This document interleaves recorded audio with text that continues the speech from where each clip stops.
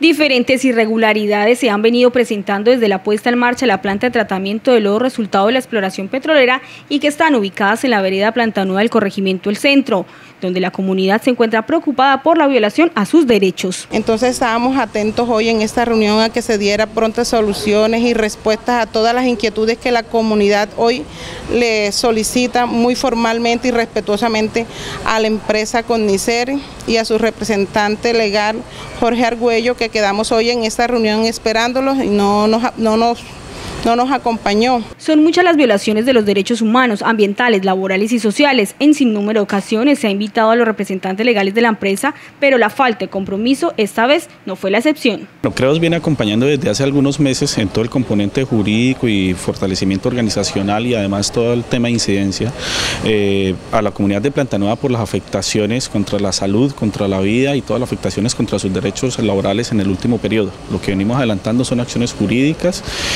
Eh, contra las empresas que vienen violentando los derechos fundamentales de esta comunidad. Personería, Procuraduría, Defensoría del Pueblo y otras entidades respaldan a la comunidad de una manera pacífica y concertada.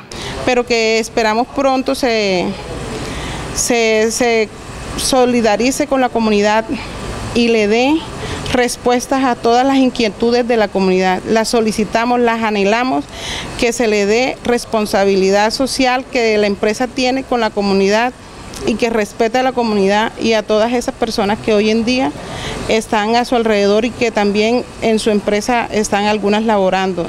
Esta comunidad solo espera que las empresas que lleguen al corregimiento del centro les brinden garantías a los habitantes en temas salariales y dignidad laboral.